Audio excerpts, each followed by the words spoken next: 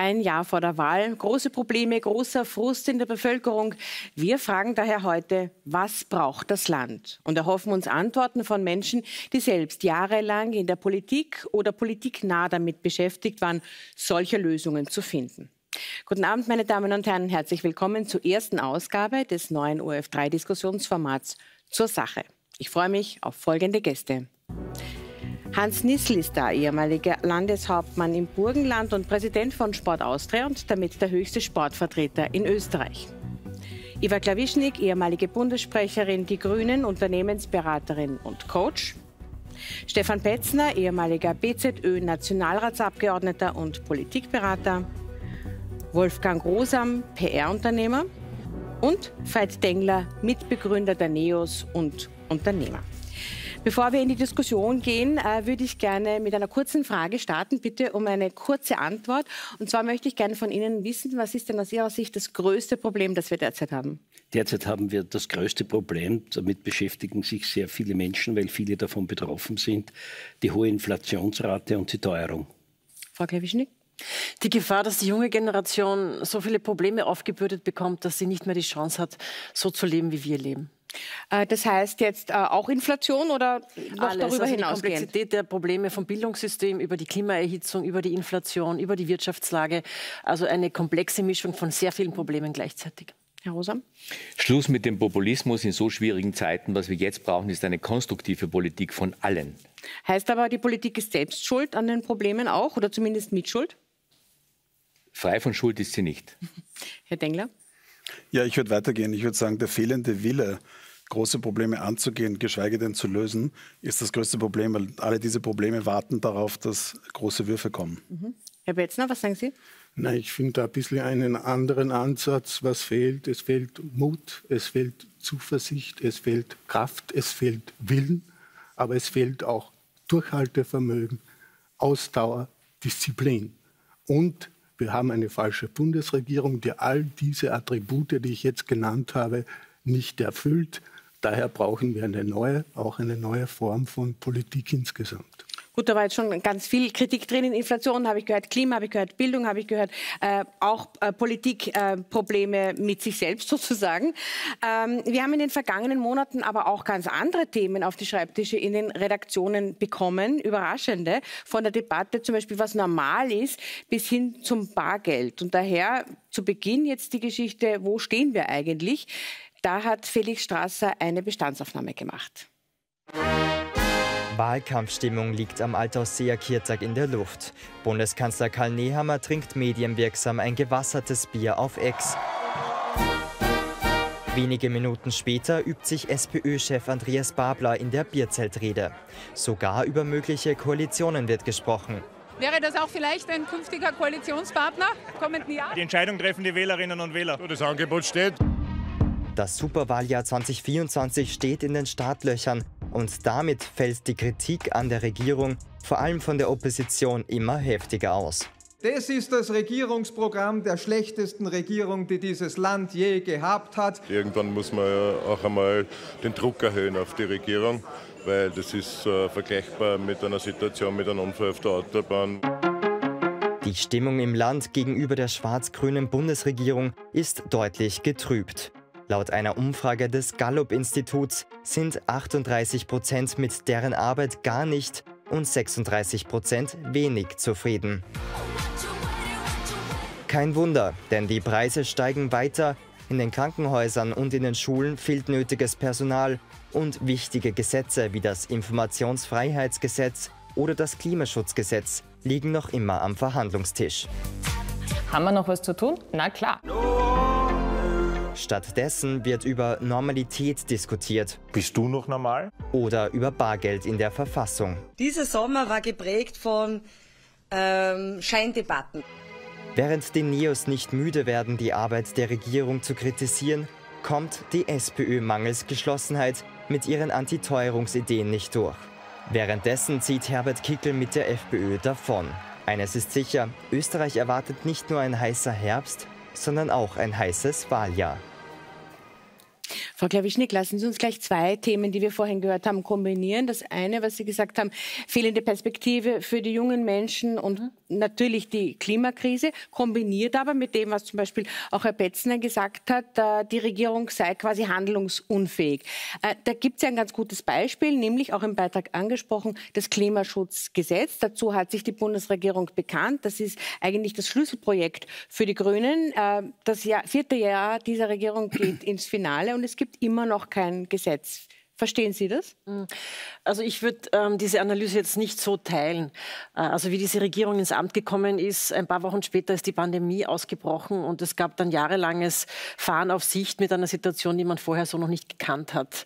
Ähm, kurz später darauf kam ähm, der Einmarsch ähm, der Russen in der Ukraine, also Krieg in Europa. Und jetzt haben wir es mit einer Inflationsrate zu tun, die es äh, seit Jahrzehnten nicht mehr gegeben hat. Also das sind schon Rahmenbedingungen, die für jede Regierung in ganz Europa sehr herausfordernd sind die Leute sind überall gereizt. Das trifft auf Deutschland zu, das trifft auf Österreich zu, das trifft auf Polen zu.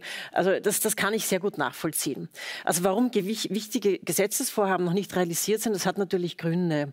Also einerseits ist immer noch der Föderalismus ein großer, großer ähm, Hindernispflock, der bei solchen Fragen immer zu überwinden ist. Also du brauchst immer die Zustimmung auch der Länder, auch der Gemeinden, ähm, um wirklich durchgreifen zu können, gerade bei Klimaschutzprojekten.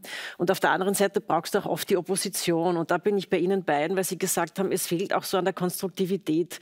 Und das teile ich. Es ist mittlerweile die Kompetenz, also wirklich Probleme anzugehen, ehrlich miteinander darüber zu reden und sie auch lösen zu wollen, die schwindet. Und in einem Wahljahr schwindet das natürlich automatisch noch einmal. Ja.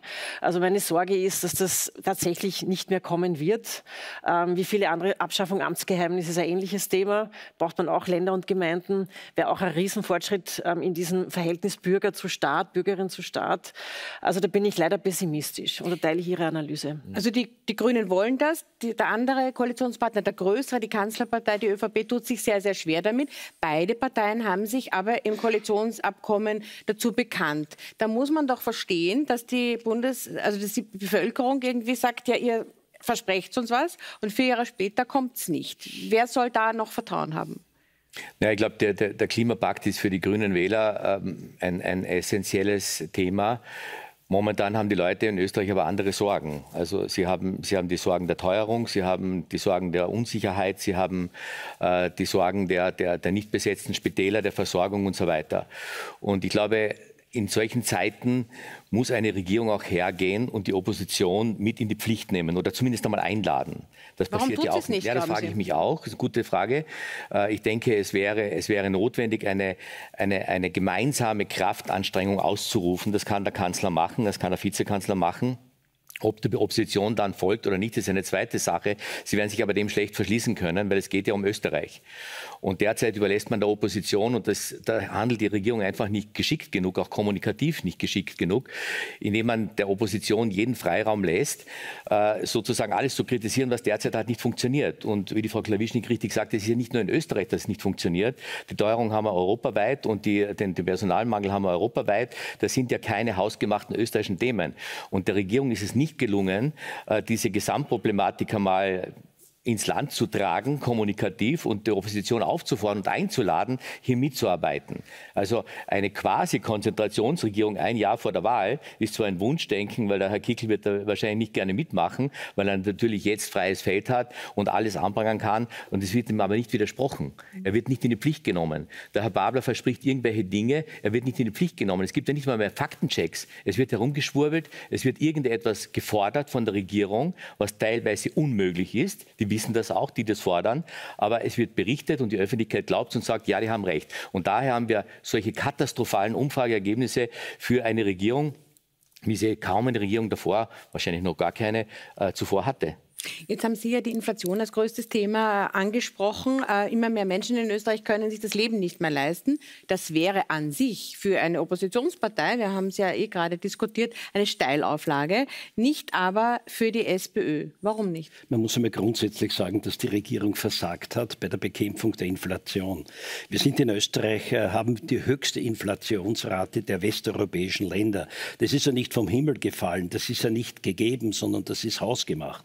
Da hat die Regierung wesentliche Beiträge geleistet, dass wir die höchste Inflation in den westeuropäischen Ländern haben. Welche würden Sie da nennen? Ja, zum Beispiel, äh, dass man in den Strompreis eingreift. Die Energie und der Strom hat wesentlich zur Inflation beigetragen und trägt weiter bei. Das heißt, dort, wo die freie neoliberale äh, Marktwirtschaft voll zuschlägt, muss sich Bremsen ziehen, muss die Menschen entlasten und muss die Inflation herunterdrücken. Es gibt Länder in Europa, die haben 2-3 Prozent Inflation. Die Schweiz, die 2-3 Prozent Inflation hat und Österreich liegt bei 8 Prozent Inflation. Man hat Helikoptergeld noch verteilt, um ganz einfach die Inflation weiter anzuheizen. Also das ist ein komplettes, da wundert es mich, dass man von Seiten der Wirtschaft äh, nicht äh, offen Kritik übt, denn hätte man äh, die Strompreise reguliert, dann hätte man sich unterm Strich auch sehr, sehr viel Geld erspart, die Menschen selbst die Inflationsrate gedrückt. Und wenn man jetzt sagt, wir haben eine hohe Inflationsrate, die höchste in Europa, und jetzt soll man bei Gehaltsverhandlungen stillhalten, dann kann nicht der Arbeitnehmer das Versagen der Bundesregierung mitfinanzieren. Also das ist einmal äh, ein Schritt, der nicht in Ordnung ist, wo ganz einfach die Inflationsrate zu hoch ist, wo man nicht eingegriffen hat und wo man verkehrte Sachen gemacht hat. Aber und wir das wollten ist ja Evidenz, eigentlich ist über die heute SPÖ jeden reden. Faktencheck, wenn wir über Faktenchecks reden, jeden Faktencheck stand, weil wir in Europa eben die höchste Inflation haben und die Teuerung damit ganz eng verbunden ist und die Gehaltsabschlüsse sich auch an der Inflationsrate äh, sehr äh, intensiv Es teilen ja offenbar werden. viele Menschen äh, die Kritik an der Regierung. Ähm, sonst wäre es ja nicht möglich, dass die FPÖ in allen Umfragen sehr stabil auf Platz 1 liegt. Könnte ja die SPÖ auch. Äh, jetzt ähm, weiß man, dass die SPÖ seit einigen Jahren eine Führungsdebatte führt. Die hätte sie beenden können. Im Mai hat sie aber nicht. Also beziehungsweise sie hat eine Entscheidung getroffen. Aber man hat immer noch nicht das Gefühl, dass die SPÖ geschlossen auftritt. Ist es nicht oder erkennt man sozusagen den Ernst der der Lage wird der Spitzenkandidat danach beurteilt, inwieweit äh, er erfolgreich bei Wahlen ist.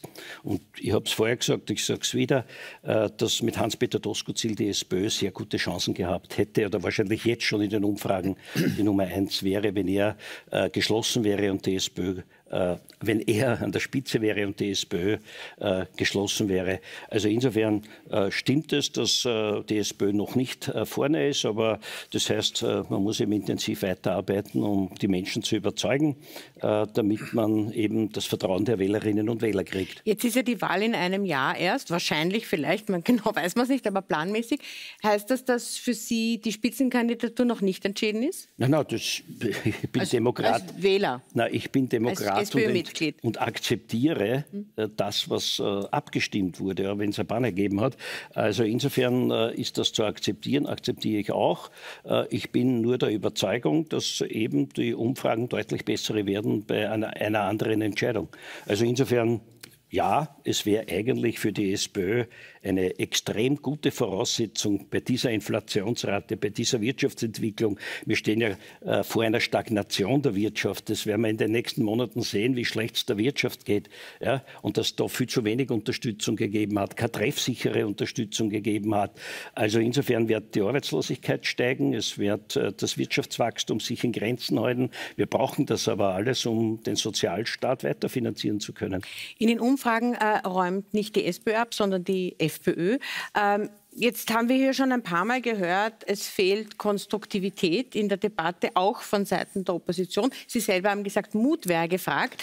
Ähm, ist es nicht eigentlich, ähm, sagen wir nicht im Sinne der Republik, wenn eine Oppositionspartei, die sieht sehr Zulauf, nicht mitarbeitet, nicht auch versucht mitzuwirken am Gedeihen dieses Landes, sondern halt wirklich jedes Mal nur sagt, schlecht, auch schlecht, noch schlechter, ganz schlecht. Na, ich mache das gerne am, am Beispiel Sicherheit fest. Ja? Ähm, und vergleiche das gerne. Nicht? Wir haben hier den Innenminister Kahner, der macht wie ein Hamsterrad eine Pressekonferenz nach der anderen, wirft mit Zahlen durch die Gegend, Schengen-Veto hier, Frontex dort und keiner kennt sich aus. Was, was, was meint er einfach? Es fehlt die politische Erzählung. Ich glaube, der Herr Rosam weiß genau, was ich meine. Was macht die FPÖ? Sie macht diese politische Erzählung und sie braucht dazu nur zwei Worte. Zwei. Nicht 5000 Sätze und 3000 Zahlen, wie der Herr Kahner das tun muss. Diese zwei Worte sind Festung Österreich. Kann sich jeder was vorstellen? Jeder hat schon einmal zu Hause als Kind eine Sandburg gebaut. Jeder weiß aus Kino und überall her, was eine Festung ist. Und das in Kombination mit einer Erklärung und fortsetzend die politische Erzählung, warum es diese Festung Österreich braucht, ähm, warum diese notwendig ist, äh, warum oder wofür oder wovor uns diese Festung schützen soll. Und mit, mit dem Abschluss dieser Erzählung schafft man dann auch Wählervertrauen. Aber die Festung Österreich äh, kann es erstens mal schwer geben, weil äh, Österreich ein Teil der Europäischen Union ist. Und andererseits äh, war ja der jetzige Parteiobmann Kickel war Innenminister und die Festung hat er auch nicht geschafft. Also ähm, ich habe erklärt, es geht um die politische ein, Erzählung. Ja? Also man soll ich, einfach ich nenne, was erzählen. Ich nenne Sicherheit ist ein kaltes Wort. Zahlen sind auch kalt. Ich bezeichne das immer als kalt. Ja, was ist Sicherheit? Die ganze Zeit lese ich überall Sicherheit. Jedes Wahlplakat mehr Sicherheit. Sicher ist sicher, sicher hier dort, sicher da. Geht man am Senkel und den Leuten draußen auch schon. Was ist Sicherheit überhaupt wirklich? Ja? Du musst Sicherheit definieren, festmachen, sagen, was es für dich bedeutet und in kurzen Worten festmachen. Und das macht die FPÖ genau mit diesen zwei Worten, mit dem, was sie herum äh, dazu angibt, Stichwort Migration. Und daher ist sie auch so erfolgreich. Herr Dengler, Sie haben äh, die NEOS mitbegründet. NEOS sind angetreten, um eine neue Art der Politik nach Österreich zu bringen. Haben Sie das Gefühl, dass dieses Ziel in irgendeiner Weise erreicht worden ist? Na, punktuell schon, aber natürlich ist noch viel vor uns. Und ich glaube, zu dem, was die Kollegen hier links und rechts gesagt haben, das Problem ist, nicht, dass die Werbung schlecht ist. Es gibt einen schönen, Schatz, äh, es gibt einen schönen Satz. Ähm, äh, gute Werbung bringt ein schlechtes Produkt schneller um. Und das Problem ist nicht, dass die ÖVP oder, oder die SPÖ keine gute Werbung haben. Das Problem ist, dass das Produkt nicht stimmt. Und was heißt das? Das Erste, was, das Wichtigste, glaube ich, für uns ist, würde ich jetzt plakatieren, Ihr habt es einmal plakatiert, Wien darf nicht Chicago werden. Ich glaube, der richtige Satz ist, Österreich darf nicht Argentinien werden. Argentinien war vor 100 Jahren eines der reichsten Länder der Welt.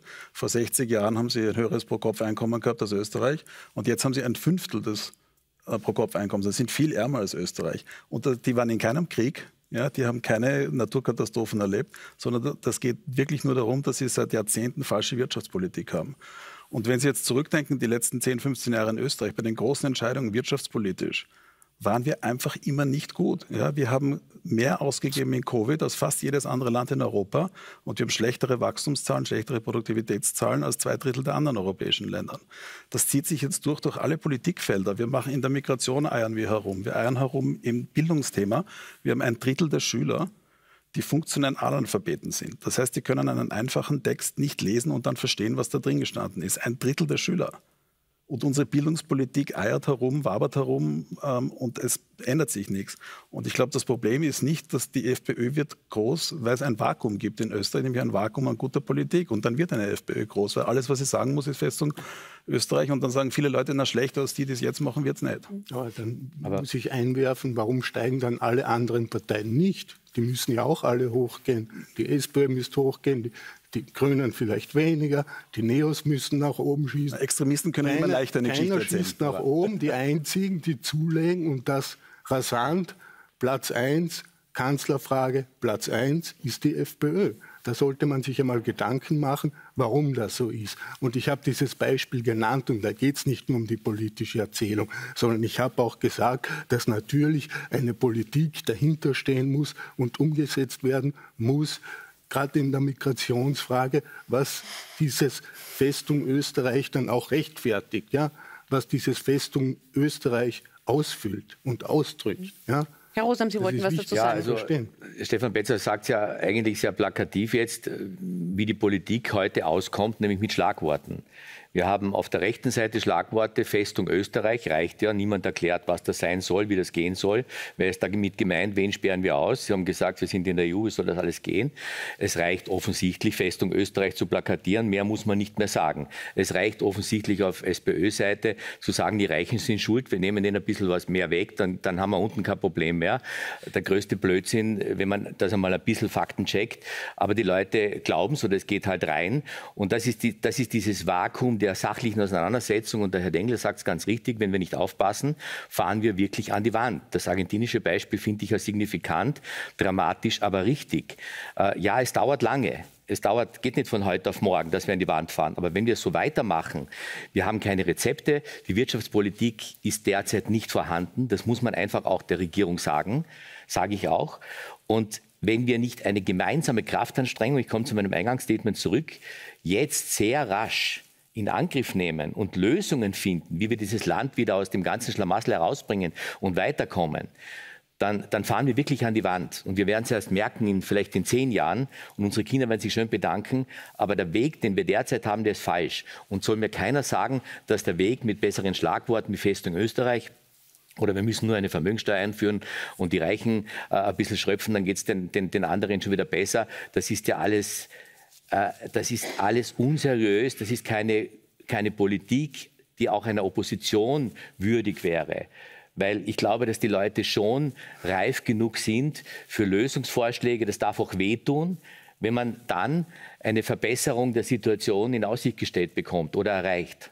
Ich, ich würde gerne Sie um, wieder, Da muss ich einwerfen, das waren nicht nur Schlagworte, sondern ich habe erklärt, welche Politik da dahinter stehen muss. Und das ist auch das, was ich nicht mag, dieser ständige Negativismus. Ja, wir, wir, wollen ja, gleich konstruktiv werden. Aber der Herr Dengler hat Nein, sich vorher noch einwerfen. gemeldet. Vor nur, Ihnen hat sich der na, Herr Dengler gemeldet. Bitte kurz. Die Grünen haben zuerst ge geredet vom Klimawandel.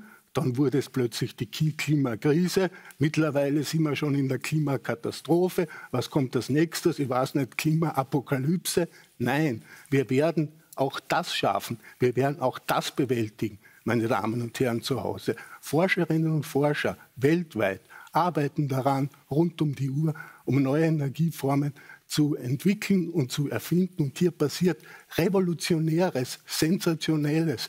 Es ist zum Beispiel gelungen, das muss man sich vorstellen, dass wir aus dem, Weltraum Energie, aus dem Weltraum Energie auf die Erde bekommen. Nur redet keiner drüber. Sie machen Angst. Okay. Positiv sein, die positiv Frau bleiben, den Leuten sagen, dass wir schaffen Jetzt der Herr Dengler, dann der Herr Nessel. Nicht immer nur schlecht reden und alle, so alle Energie kommt aus dem Weltraum, aber das ist ein anderes Thema. Ähm, Wirtschaftspolitik ist mhm. ein ganz wichtiges Thema und ich glaube, da ist eins, wo eine gewisse Ernsthaftigkeit auch fehlt und das sind auch dicke Bretter. Aber, und da hat der, Betzner, der Herr Betzner ist da schon auf einem richtigen Dampfer, wir müssen uns auch klar sein, dass bei vielen Leuten Migration ein Problem ist. Und wenn wir uns ehrlich sind, haben viele andere Parteien dafür keine ordentliche Antwort. Und ich, vielleicht sollten wir ein bisschen von Dänemark äh, lernen. In Dänemark sind die Sozialdemokraten und die Liberalen und die Konservativen relativ einig, dass man die Systeme verschärfen muss, dass man zum Beispiel den Nachzug verschärfen muss, dass man gewisse Regeln einführt für wer bei uns bleiben darf und nicht. Und da trauen sich viele andere Parteien nicht drüber, weil sie glauben, dann spielt man der FPÖ in die Hände, aber man spielt eher der FPÖ in die Hände, wenn man das nicht tut.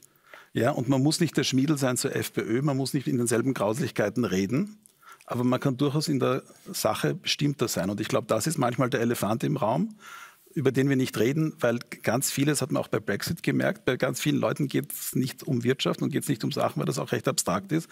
Aber es geht darum, wenn das Krankenhaus voll ist, wenn die Schulen voll sind, wenn die Verkehrsnetze nicht mehr funktionieren gut, dann hat man ein Problem. In der Schweiz nennt man das Dichtestress. Und Dichtestress ist tatsächlich ein Problem und damit muss man auch umgehen. Herr Niesel, Sie wollten was sagen? Ich glaube, dass die Politik an Glaubwürdigkeit verloren hat. Das sind alles gute Vorschläge und wenn das die Politik sagt, dann wird dem nicht mehr geglaubt. Warum? Weil oft das, was versprochen wurde, nicht gehalten wurde. Und ich glaube, dass das beste Beispiel ist, zu sagen, nicht ich will das machen, sondern dort, wo ich die Möglichkeit habe, etwas zu verändern, das auch zu verändern, damit die Menschen sehen, ja, die gehen den Weg. Ja, die haben den Auftrag und das wird umgesetzt und werden dafür gewählt, nämlich das, was sie gesagt haben, auch umzusetzen. Und die Glaubwürdigkeit, die ist verloren gegangen. Wenn, wie äh, vorhin auch gezeigt wurde, über 70 Prozent der Österreicherinnen und Österreicher mit der Arbeit der Regierung nicht zufrieden sind und äh, ja, die FPÖ in den Umfragen gut liegt, die SPÖ äh, große Luft nach oben hat, ja, dann ist das Vertrauen allgemein in die Politik kein allzu gutes. Und an der Glaubwürdigkeit zu arbeiten und nicht das Blaue vom Himmel zu versprechen, sondern zu sagen, ja, wir machen das in der Bundesregierung. Wer hätte die Bundesregierung daran gehindert, im Bildungsbereich äh, Reformen zum Beispiel zu machen? Äh, wir haben das drittteuerste Bildungssystem in Europa. Wir haben einen mittelmäßigen Output im Bildungsbereich. Jetzt wird versprochen, vier Milliarden Euro in den Bildungsbereich, in die ganztägige Betreuung der Kinder äh, zu investieren in den nächsten fünf Jahren. Ja, bitte, da sind wir zehn Jahre hinten. Ja? Also das, glaube ich, ist, ist ein Thema, das man jetzt verspricht. Glaubwürdig wäre es dann, wenn man es schon gemacht hätte und sagen, wir bauen es weiter aus.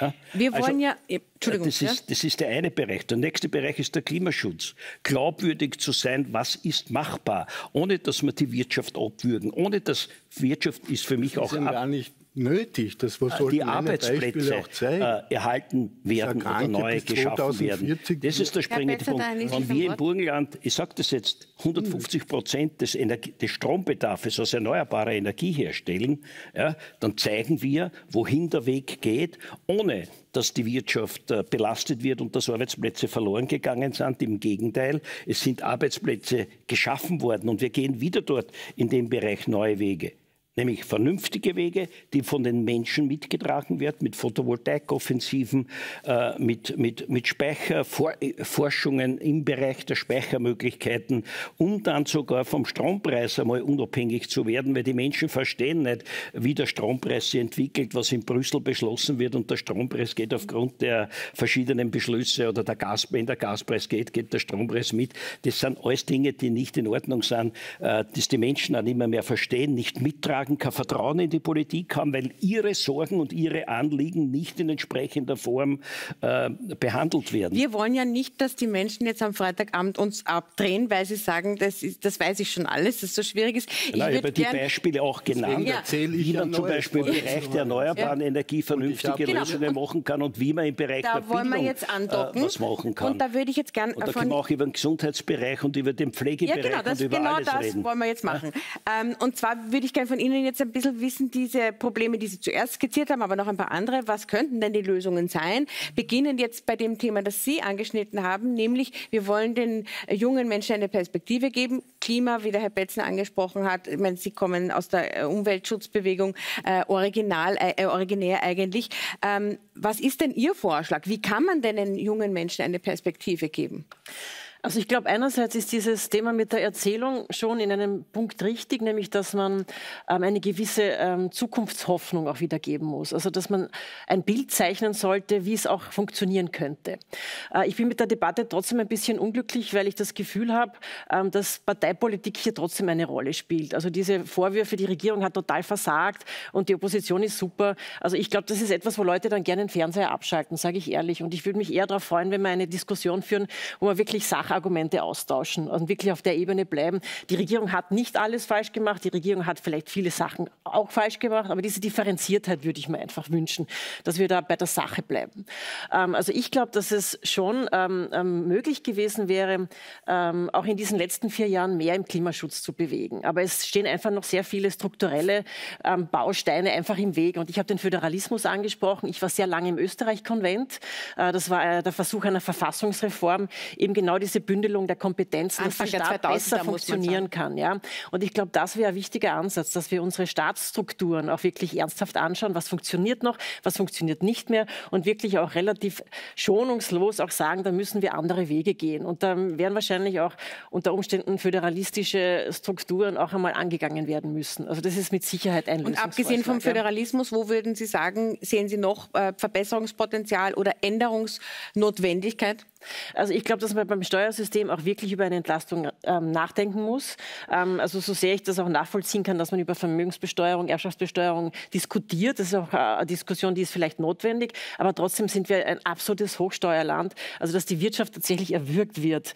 Äh, und ähm, von, vom EPU bis äh, zu den großen Unternehmen. Und Sandburg, Österreich, ist in dem Sinne ein absoluter Quatsch. Wir sind eine exportorientierte Wirtschaft. Also 50 Prozent unserer Wirtschaft ist von Export abhängig. Also wir sind so international aufgestellt und so international vernetzt, dass wir auch aufpassen müssen, dass wir in dem Bereich uns nicht einen wirklichen Klotz am Bein schaffen. Also da muss man überlegen, wie man runterkommt. Und das geht eben, glaube ich, auch mit so einer Verwaltungsreform. Und das letzte Thema, dann bin ich schon fertig. Also der ganze Fokus, die ganze Energie gehört in den Bildungsbereich. Und das fängt bei den Kleinsten an. Und wenn man dann solche Debatten hört, wie jetzt kürzlich im Parlament, wo ein Abgeordneter sagt, ähm, Kinderbetreuungsplätze zerstören die Familien. Ähm, und das ist irgendwie die größte Katastrophe, wenn man ähm, nicht das Kind bei der Mutter hat, da denke ich mir schon, ich meine, Leute, wo sind wir denn? Also bitte, das ist eine der wichtigsten Bildungseinrichtungen, bei den Kleinsten anzufangen. Also wenn das wirklich, jetzt, jetzt wäre ich vielleicht unfair, weil ich habe vorher gesagt, keine Parteipolitik, aber das sage ich auch als Frau. Also wie kann man ähm, sich ähm, so hinstellen und zu sagen, das Kind gehört zur Mutter und der Kinderbetreuungseinrichtung zerstört die Familien.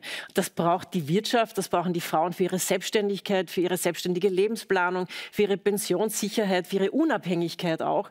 Also das ist so ein wichtiges Projekt und vor allem nützt es auch vor allem der Kinderbildung. Also Kindergarten, Schule, ähm, Ausbildungssystem, das ist die absolute Priorität meinerseits. Ja. Ein Problem, das niemand von Ihnen genannt hat, interessanterweise, was ich aber persönlich für ein sehr wichtiges Problem halte, ist das, äh, der Gesundheitsbereich. Äh, da hören und sehen wir praktisch täglich, äh, dass es am Personal fehlt, ähm, dass es auch an Geld grundsätzlich fehlt, an der, an der Ausstattung.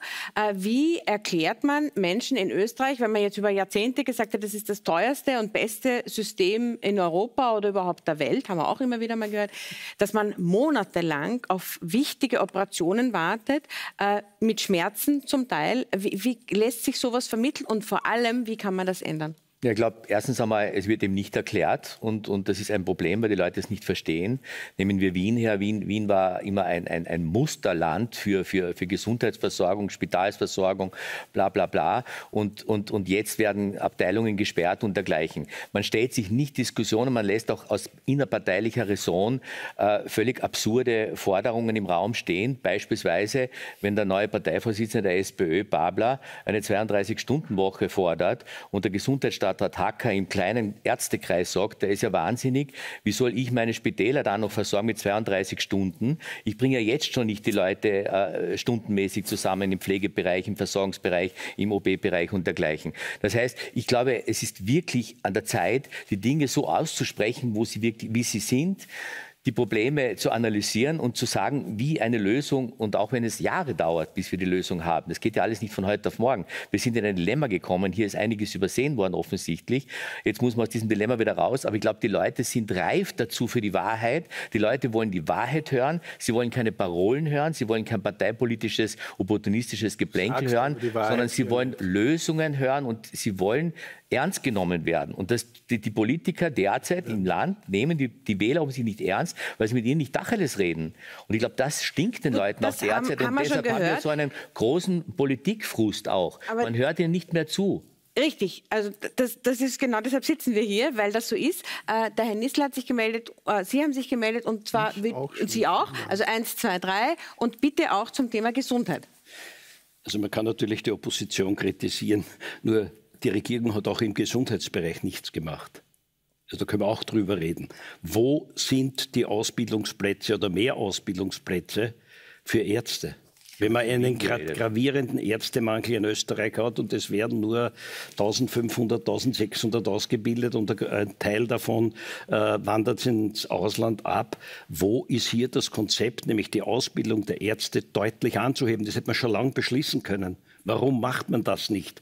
Warum bildet man nicht mehr Pflegekräfte in Österreich aus? Warum hat man bis vor kurzem in der Ausbildung äh, den Frauen, die gesagt haben, ja, ich äh, wechsle den Beruf, in der Ausbildung nichts bezahlt? Wie soll eine Alleinerzieherin sich als Pflegerin ausbilden Aber wir lassen? wollen ja die Antworten drauf. Na genau, das, das sind ja die Antworten. Sie die nehmen sagen, aber nur die letzten wir, drei Jahre wenn, her. Wenn wir über die Probleme reden und über Lösungen reden, da können wir nicht nur sagen, analysieren, das ist so. Das wissen wir eh, was Sie gesagt haben. Da brauchen die Hörerinnen und Hörer nicht zuschauen. Aber das sind ja Vorschläge, die die Regierung machen könnte die hatte die Möglichkeit zu sagen, wir bilden mehr Ärzte zum Beispiel aus, wir bilden mehr Pflegerinnen aus, wir geben in der Ausbildung, wie das bei der Polizei ist, äh, schon eine Entlohnung. Zum Beispiel diplomiertes Personal auszubilden. Genau das ist es, die Bezahlung anzuheben, die Schwerstarbeiterregelung, die, die schwerste Arbeit, die dort gemacht wird, in entsprechender Form abzugelten. Also genau dieses bei Versagen. Der und bei der Bildung, Sie kommen ja von 100 ins 1000. Nein, nein, Sie, wir reden Satz, jetzt von Gesundheit. Einen Satz. Entschuldigung, einen Satz. nein, das möchte ich fertig sagen, weil Bitte. Sie über Gesundheit geredet haben. Und genau das Thema Gesundheit ist eines der wesentlichsten Themen. Wir sprechen äh, schon lange, und das sage ich als Präsident von Sport Austria, dass wir sagen, äh, Prävention statt Rehabilitation. Was wird tatsächlich, wie viel Geld wird für Rehabilitation ausgeben? Sehr, sehr viel, ist auch notwendig.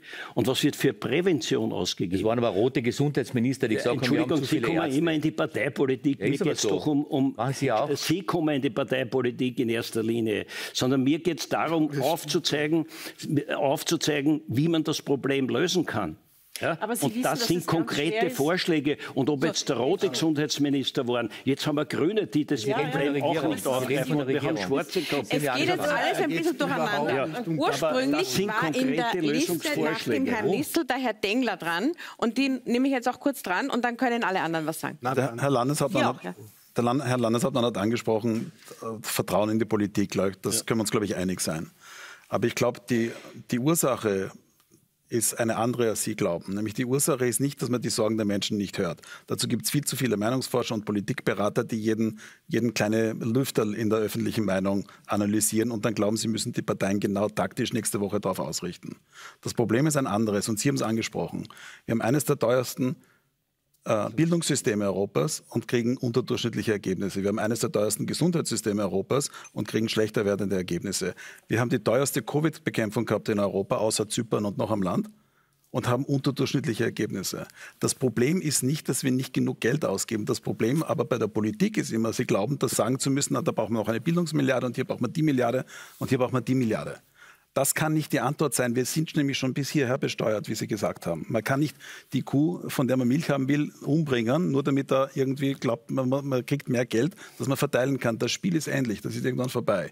Was passieren muss, ist, man muss zum Beispiel den Schulen Autonomie geben und die Schulen brauchen nicht zwei oder drei Bürokratieebenen drüber, die die begutachten und beurteilen, wöchentlich und monatlich, was die machen. Die brauchen mehr Autonomie, das Ganze wird viel billiger. Wir müssen den Bundesstaat aufräumen. Wir haben ganz viele Kompetenzen, die im Bundes- und Länder sind. Das klingt abstrakt, aber was das heißt, ist, dass es dieselben Leute gibt, die in Wien und in Graz und in Linz sitzen und im Wesentlichen an denselben Themen arbeiten. Und wir leisten, wir leisten uns viel mehr. Ja, wir leisten uns viel mehr Staat, als wir dafür kriegen. Und wenn man nicht Argentinien, wenn das zu weit weg ist, dann kann man Griechenland nehmen, weil Griechenland hat auch hohe Steuerquoten. Dort wird dann halt viel beschissen bei der Steuer, weil die Leute wissen, ich kriege nicht das Gesundheitssystem und ich kriege nicht die Ausbildung, die so hohe Steuern rechtfertigen. Und auf diesem Pfad sind wir. Das heißt, bis wir bereit sind, große Reformen zu machen, im Bildungssystem, im Gesundheitssystem, und das muss heißen, wir müssen viel effizienter werden. Wir müssen digitalisieren, aber mit Karacho. Es kommt immer mehr künstliche Intelligenz, die wir einsetzen können, die ganz große Produktivitätsfortschritte bringen wird. Aber das müssen wir machen. Wir hinken bei allem hinterher und tun irgendwie so an kleinen Schrauben äh, drehen oder noch schlimmer über Bargeld reden. Die große, die große Schraube, Herr Petzner, ist dann was? Ja, die große Schraube nenne ich jetzt nicht, auch wenn es jetzt viele nicht gern hören wollen, aber es ist die Wahrheit.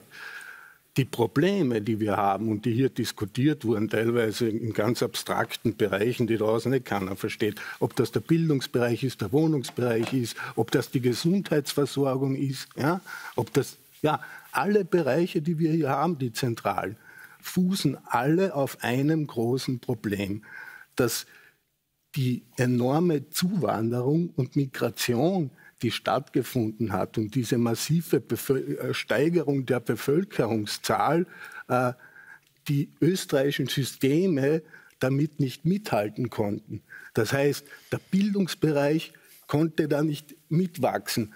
Der Gesundheitsbereich konnte nicht mit, mitwachsen, ist da zu sehr unter Druck geraten. Wenn das stimmen würde, wäre. Amerika eines Ja? der ärmsten Länder der Welt, wenn das stimmen würde. Wenn das stimmen würde, wäre Amerika eines der ärmsten Länder der Welt. Weil die wachsen die ganze Zeit, aber die Systeme halten mit. Also was wir fix Sie wissen, ist, Gesundheit Österreich und mit- Pflege ist mit ohne, ohne Zuwanderung nicht- nicht zu stemmen. Überhaupt nicht vergleichen, das wissen Sie, das ist ein völlig falscher Zusammenhang. Nur weil eine Bevölkerung das, wächst, Die haben ein das ganz, nichts, ganz anderes. System. In Österreich ist es so, wie ich es Ihnen gesagt Kanada, habe. Gehen Sie einmal, gehen Sie einmal, gehen Sie einmal in eine? Notaufnahme. Also Japan gehen Sie einmal Probleme in eine. Notaufnahme in einem Wiener Spital.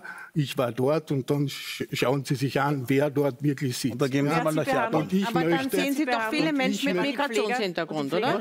ja, die meisten haben alle Migrationshintergrund, nur sind es keine Österreicher mehr. Ja? Ähm, Ja. Zweiter Dank. Punkt. Ja, und- aber was heißt das jetzt? Ja, Sonst wären sie nicht da. Widerspricht er deiner These? Nein, nein überhaupt nicht. Einer These. Nein. Also ich halte das es nicht der, aus, dass man Das ist das Problem, dass die Krankenhauskapazitäten okay. nicht, Schritten halten, nicht Schritt halten konnten ja. mit der enormen Zuwanderung. Okay. Und das sorgt auch dafür, dass man relativ am Ende. und was weiß ich was alles haben. Aber ein, ein Schlusssatz noch, Schlusssatz? bin ich ganz, ja? ich will mich hier von diesem Negativismus wieder nicht anstecken lassen. Ja? Und ein Positivbeispiel nennen, was wir im Gesundheitsbereich schaffen werden. Elon Musk hat erst vor wenigen Tagen die Genehmigung der US-Behörden bekommen, dass ein Chip in ein Gehirn eingepflanzt werden kann. Dafür sucht man jetzt Testpersonen, dass möglich wird, dass Blinde wieder sehen können und dass Lahme wieder gehen können. Das werden wir schaffen. Das wäre okay, Form, Formtipp haben wir wahrscheinlich noch ein paar andere Sachen zu tun. Frau Klawischnik, Sie waren ja, Nein, also, also diese, diese Antwort an allem sind die Ausländer schuld. Ich glaube, das ist nicht diskussionswürdig. Das kann man wirklich beiseite okay. stellen. Und das andere Faktum ist, dass gerade im Gesundheitsbereich und im Pflegebereich, also ohne Zuwanderung, Österreich mittlerweile sehr arm ausschauen würde. Also da arbeiten so viele Frauen aus anderen Ländern, ohne die wären wir wirklich aufgeschmissen. Und das ist Faktum. Und vielleicht kann man hier ein bisschen einen Faktencheck Sie vielleicht auch noch einmal machen. Ja, nein, Sie waren dran, jetzt kommt die Frau Klawischnik auch einfach. Ja. Ähm, und im Gesundheitsbereich, ich glaube, das ist schon wirklich komplex. Sie haben gesagt, es ist wenig passiert. Sie wissen, wie schwierig es ist, für den Pflegebereich überhaupt Personal zu bekommen, weil es einfach ein sehr, sehr harter Job ist. Ähm, es gab eine Stunde Arbeitszeitverkürzung. Es wird die Pflegelehre jetzt einmal versucht. Also da gibt es gewisse Erfolge. Aber ich stimme Ihnen zu, dass wir da wirklich noch einen weiten Weg zu gehen haben. Aber es wurden mit Sicherheit auch Projekte auf die Reise geschickt. Ähm, und Sie wissen das auch selber. Ähm, gerade Ärztemangel, das sind strukturelle Themen, die man immer nicht innerhalb von ein oder zwei Jahren lösen kann. Also es wandern sehr viele ab nach Deutschland, es wandern sehr viele ab in die Schweiz, auch weil die Arbeitsbedingungen nicht passen. Arbeitsbedingungen kann man auch nicht von heute auf morgen so mit einem äh, mit einer Maßnahme verbessern. Das sind alles Dinge, die brauchen auch ihre Zeit und ihre strukturellen Reformen. Das stimmt so nicht. Denn ich kann sehr wohl beim Medizinstudium sagen, ja, du kannst studieren und du verpflichtest dich, äh, fünf, sieben Jahre in Österreich zu bleiben, wenn nicht zahlst du dein Studium. Das ist EU-konform, das gibt es in anderen Ländern, das gibt es nur in Österreich nicht. Das nächste ist das schwedische Modell zu übernehmen. Ja, wir können nicht nur sagen, wir machen noch mehr äh, Betten, es sind ja schon 2400, glaube ich, sind gesperrt in Österreich, sondern wir können das schwedische Modell übernehmen, wo, oder das skandinavische Modell, dass ein Promillsatz vom Gesundheits-, äh, vom Krankenanstaltenbereich in den Sport fließt, in die Bewegung fließt, mit dem Kindergarten über die Pflichtschulen, die tägliche Bewegungseinheit von ja. Erwachsenen bis hin zu den Senioren und Pensionisten. Das haben wir in Österreich nicht. Wir haben nicht das Bewusstsein, dass Bewegung und Sport ganz einfach für die Gesundheit elementare Voraussetzungen sind, um das Gesundheitssystem zu entlasten. Wir haben von Professor Helmenstein eine Studie, dass über zwei Milliarden äh, Euro äh, sich das Gesundheitssystem einsparen könnte, wenn man diese tägliche Bewegungseinheit auch in entsprechender Form umsetzt. Wir sind dabei, Pilotprojekte zu haben. Es äh, fehlt die Finanzierung. Da muss ich auch was Positives äh, über die Bundesregierung sagen. Äh, über die Opposition werden Sie nichts Positives sagen. Also die Bundesregierung Doch, hat gerade im Sport äh, äh, gut unterstützt, das muss ich auch dazu sagen, mit dem MBO-Fonds, mit der täglichen Bewegungseinheit, mit den äh, Pilotregionen, wo die tägliche Bewegungseinheit umgesetzt wird, mit der Absetzbarkeit für Spenden für den okay, Sport. Muss ich ein bisschen einbremsen? Das, das geht Bitte? in die richtige Richtung und das würde das Gesundheitssystem, und da bin ich beim Gesundheit, und den Pflegebereich entlasten. Die Schweden zum Beispiel werden so alt wie die Österreicher, aber sie sind zehn Jahre lang gesünder und entlasten das Gesundheitssystem. Ja, und das wäre zum Beispiel eine intelligente sagen, aber, das ist wieder ein aber da Thema. orte ich auch im Gesundheitsministerium nicht das Verständnis, dass Bewegung Bewegung einen wesentlichen Beitrag zu der Gesundheit leisten würde. Gut, das war jetzt schon sehr konstruktiv, im Gegensatz natürlich zu vielen anderen Fronten, die wir jetzt erlebt haben. Aber äh, wir sind wirklich schon am Ende. Ich würde jetzt trotzdem gern von Ihnen im Sinne der Zuschauerinnen und Zuschauer gerne etwas von Ihnen Positives hören über eine Partei, der Sie weniger nahestehen. Und daher möchte ich mit Ihnen beginnen und Sie fragen, was hat Ihrer Meinung nach die ÖVP in letzter Zeit richtig gemacht? Die ÖVP haben die Sie ÖVP. gefragt? Genau. Ähm, ähm, da steht sehr bemüht. Nein, also äh, Also ich glaube, dass es gut ist, dass die, ähm, die Kinderbetreuungsthematik ähm, auf den Tisch gelegt worden ist. Also das war für mich ein sehr interessanter Move von Kanzler Nehammer, weil ich lange Zeit das Gefühl hatte, er sagt blaue Sätze nach. Aber die Kinderbetreuungsmilliarden, diese 4,8 oder 5 Milliarden Euro, sind eine absolut unterstützenswerte Sache. Ich habe mich sehr gefreut, das zu hören. Herr Rosam, was ist denn der FPÖ gelungen in den letzten Monaten? Der FPÖ gelungen, das ist jetzt wirklich die schwierigste Frage der ganzen Woche. Äh, ich werde mich bemühen. Ich glaube, dass, es, dass man unterscheiden muss zwischen, zwischen FPÖ, Mr. Kickel und, und der Arbeit von vielen FPÖ-Funktionären in den Bundesländern draußen. Und ich denke, dass dort sehr gute äh, basispolitische Arbeit gemacht wird, die ich nicht schmälern möchte. Der Herr Kickel ist eine Dimension für sich. Was haben Sie, Herr Dengler, den Grünen in letzter Zeit hoch angerechnet? Darf ich nicht auf die FPÖ antworten? Nein. okay, gut.